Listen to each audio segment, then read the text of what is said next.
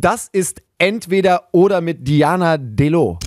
Die Energy YouTube Show. Entweder oder. Schlümpfe oder Gummibären? Gummibären, Warum? weil sie besser schmecken. Und, und so äh, zum Gucken, also Fernsehen? Gibt's Gummibärchen im Fernsehen? Gummibären hüpfen hier und da und überall. Kennst du nicht? Oh, ich bin, ich, nee, weißt du, warum ich das nicht kenne? Weil ich mit siebeneinhalb nach Deutschland kam und wir in, im ehemaligen Jugoslawien wahrscheinlich sowas nicht im Fernsehen hatten. Ich habe das mit zwölf noch geguckt. Okay, DM oder Rossmann? DM. Warum? Oh. Wegen Balea, oder?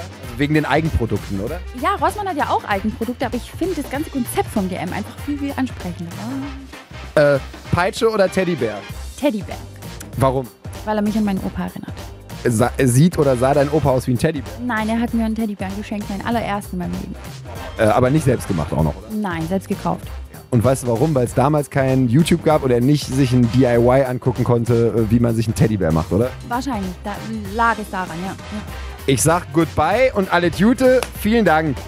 Schön war's. Danke.